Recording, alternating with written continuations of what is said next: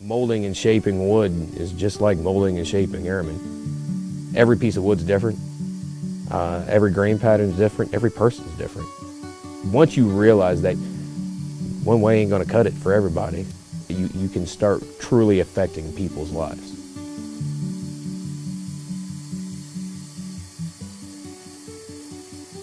I'm Master Sergeant Jeremy Wiley, 375th Force Support Squadron, Career Assistance Advisor at Scott Air Force Base. I was raised in Sparta, Illinois. There's it's about uh, 40 minutes south of Scott. Your option was printing press, farmer, or coal miner. And I wanted to do none of the three.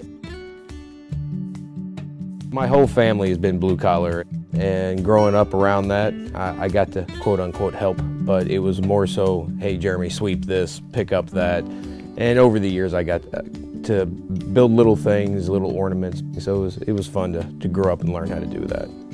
Uh, of course, there's splinters, there's, there's things that fly around, but man, it is, it's amazing. You, start out with just rough, nasty looking wood and you can turn it into tables, I've built uh, entertainment centers, uh, shadow boxes, anything you could possibly imagine. As I joined the Air Force, uh, I got married. I was married for a little over 11 years the first time.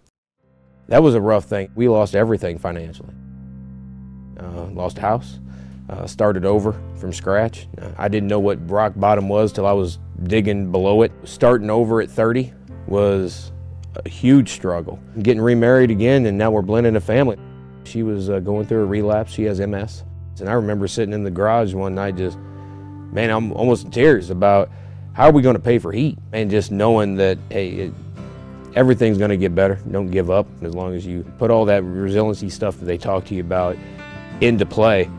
It, it's real. I mean, it's buzzwords, but it's real. And a lot of that helped with that release, with that time to you know, disconnect from the, struggles and build things. Uh, you know, I could take my frustrations out. So it was, it was a, uh, an outlet that I didn't realize I needed.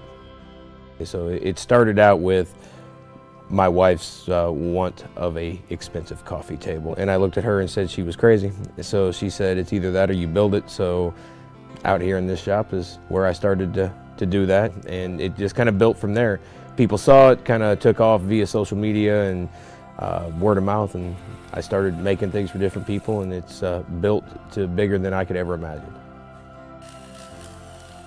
Being this close to retirement, man, I have never been more excited. But coming up on the end, some people get very nervous. Of course, there's always a little nerves for change, but it's an excitement more than nerves. I, I can't wait to start my next chapter and, and find out just how far I can take Wiley Woodworks.